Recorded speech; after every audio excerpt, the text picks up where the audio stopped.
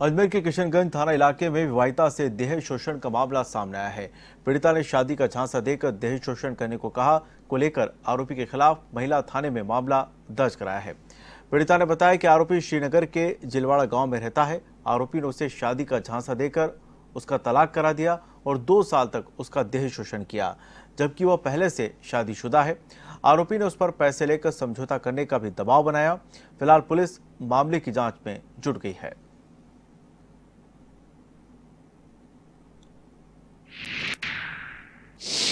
इस वर्षीय महिला ने एक मुकदमा दर्ज कराया जिसमें उसने बताया कि एक व्यक्ति जिसका नाम सलमान है और वो श्रीनगर के जिलावड़ा का रहने वाला है।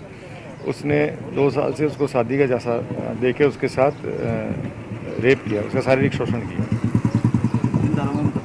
ये तीन सौ छिहत्तर आई में मुकदमा दर्ज किया है तथा उसने ये भी बताया कि उसके उस वो उसको धमका रहा है तथा उससे पैसे मांग रहा है। इस पर तीन सौ चौरासी आई